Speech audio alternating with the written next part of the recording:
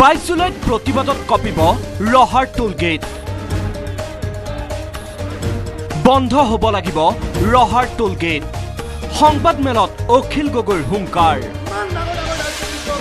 যিকোনো প্ৰকাৰে ৰহাৰ টোল গেট বন্ধ কৰা হ'ব। এই হুংকাৰ কৃষক নেতা অখিল গগৈৰ। ৰহাৰ টোল গেটৰ বিৰুদ্ধে সমগ্ৰ ৰাজ্যবাসীক একত্ৰিত হোৱাৰ আহ্বান জনাই কৃষক নেতা অখিল গগৈ এখন সংবাদমেলত কয় অন্যথা ইয়াৰ মূল্য ভৰিব লাগিব অসমবাসীয়ে।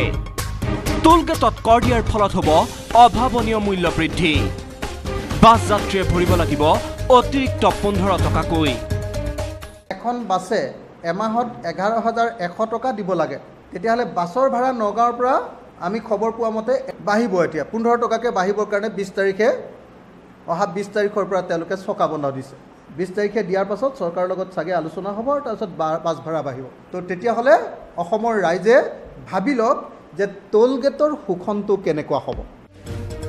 লক্ষণীয়ভাৱে অসমৰ জনগণ জাতীয় সংগঠন ৰাজনৈতিক দল টোলগেটৰ বিৰুদ্ধে কিয় নিমাত হৈ আছে বুলিও প্ৰশ্ন তোলে কৃষক নেতাজনে। তেওঁ লগতে কয় যে কেইজনমান জাতীয় সংগঠনৰ নেতাই টোলগেটৰ পৰা টকা সংগ্ৰহ কৰি আছে। ইমান ডাঙৰ ডাঙৰ ৰাজনৈতিক দল BJP R S S A G P একদম জাতীয়তাবাদৰ গোটেই ধ্বজা লৈ আঞ্চলিকতাবাদ বচাবৰ কাৰণে এ জি পিটো একদম খাৰা হৈ ৰৈ আছে। কংগ্ৰেছ একদম বিৰাট ভাল দল এটা ৰৈ আছে নহয় এতিয়া। A I D F C P I C P M ক'ত গ'ল এইবিলাক দল এতিয়া? কোনেওচোন মাত এষাৰ নিদিয়ে এতিয়া অসমৰ ৰাইজৰ এই শোষণৰ সময়ত। লুণ্ঠনৰ সময়ত কেন্দ্ৰীয় চৰকাৰৰ লুণ্ঠনৰ সময়ত কোনেওচোন এতিয়া এটাও মাত নিদিয়ে কোনেও। কিছুমান জাতীয় সংগঠনৰ এজেণ্টে গৈ জাতীয় সংগঠনৰ তথাকথিত নেতাই গৈ সেই গেটখনত গৈ এতিয়া তাতে দালালি কৰি আছেগৈ। ইফালে বাইছ জুলাইত কৃষক মুক্তি সংগ্ৰাম সমিতি আৰু অসম জাতীয়তাবাদী যুৱ ছাত্ৰ পৰিষদে টোলগেটলৈ যাওঁ বল শীৰ্ষক প্ৰতিবাদী কাৰ্যসূচী গ্ৰহণ কৰিছে।